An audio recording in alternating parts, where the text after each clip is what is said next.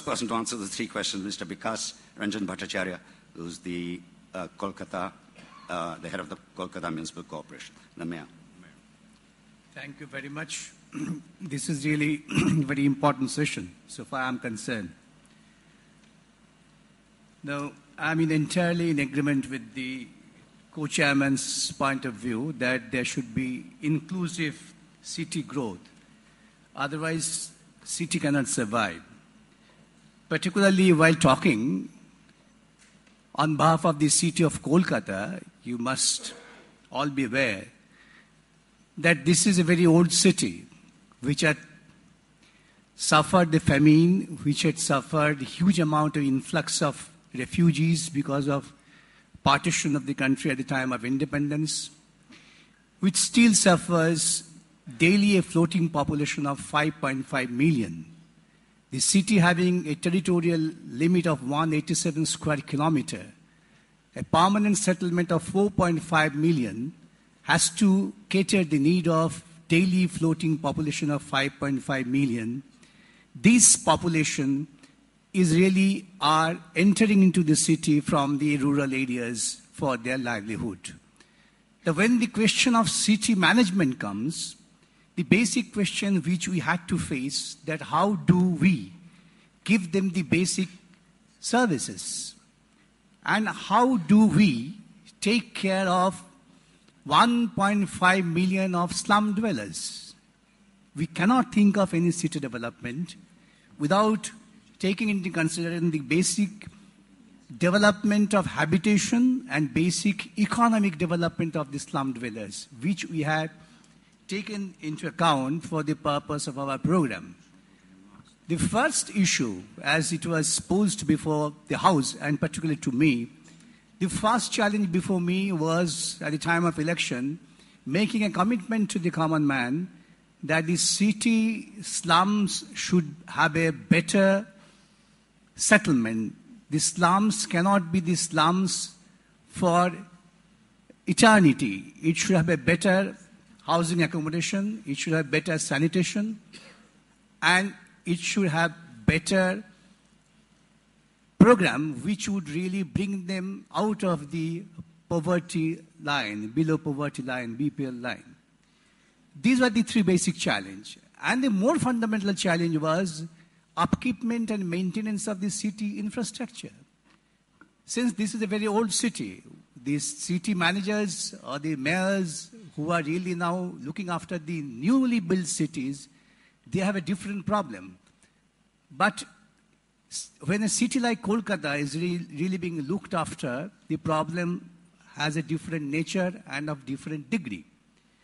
Now, all the uh, infrastructures are almost all aged, and because of age, they are ill, they're suffering, and they're almost in the verge of collapse.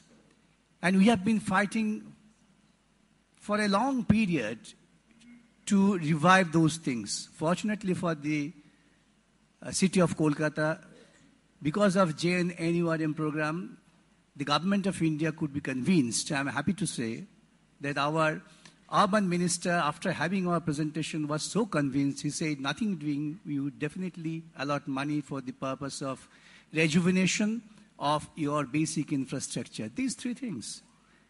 And I can happily tell you that in the field of improvement of the basic living standard of the poorest of the poor people who do live in slums, we could not think of city development keeping them aside or throwing them under the carpet. We had introduced certain programs. The first thing, the preventive side of the health. Let there be preventive cure. And the infant mortality rate in the city of Kolkata is remarkably low. It is probably now competing with Kerala. Now, the mother's mortality rate has gone down. You must have also noticed that while the other part of the country was really reeling under huge pressure of vector-borne disease, city of Kolkata for the last two years have come out successfully. How could it be possible? the third one, that we have been able to engage the poorer people in this self-help movement. is also a central government uh, sponsored program, but these were not being implemented. With the implementation of this, we have noticed that the, the women, which are fundamentally exploited, they have come out successfully with different projects after having training. They're earning a lot, on an average 1,000 and 1,500 rupees per month, which is a substantial amount for the poorer people. And they have their own expression of human rights. They can very well come out and say that we can have our worth of our own labor. This we have done successfully in the city of Kolkata. Another thing, little bit of change. in the city of Kolkata run primary schools. It is said that the corporation run primary schools are for the uh, the poorer people who do not even provide them one full meal. And at one point of time, it was thought that let the corporation school be shut down. Nobody is going to come to the school. Why should you waste your money? But in the last two years, there has been additional registration of 9,000 children. There were these 9,000 children who were not going to the school or coming to the school regularly and they're having their education with simple introduction of midday meal. These ideas are all basic inclusive development ideas and concept by which we can get the city developed. City should not be only developed keeping the health of the millionaires in mind. City should not be developed keeping the need of the car owners only. That way we do not think.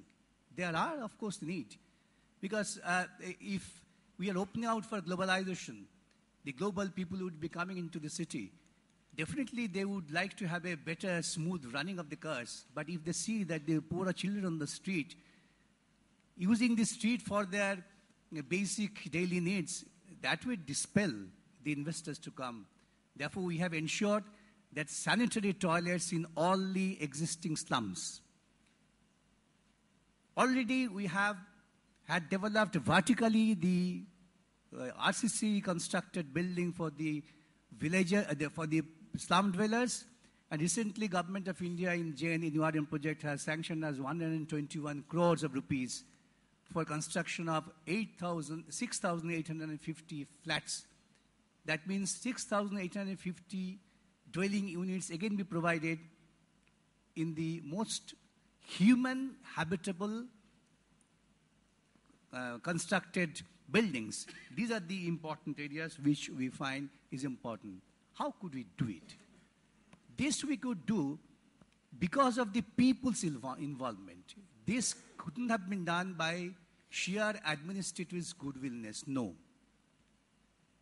We have made the elected body answerable. We means by the act made in West Bengal, there is a cabinet form of government-like structure in the megacity of Kolkata Municipal Corporation. We call it mayor-in-council system, where the, the mayor is the head of the uh, policy-making body, assisted by a senior IS officer who is the commissioner, an executing body, but they all remain responsible to the house.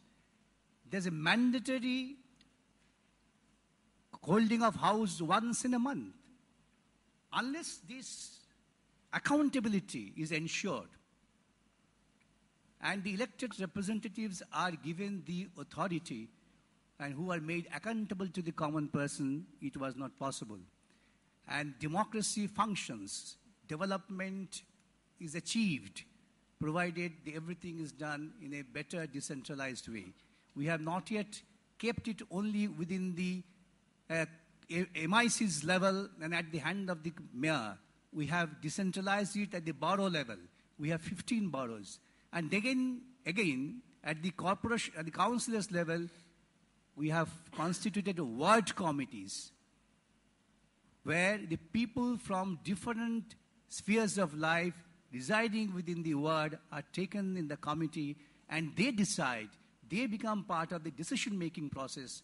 And once they take part in the decision making process, decision is arrived at, implementation doesn't become any difficult for them.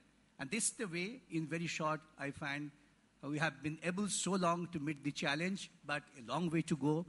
And the way we are trying to move, if we can move successfully, I am sure that uh, we can do a lot better. Thank you all. Thank you very much.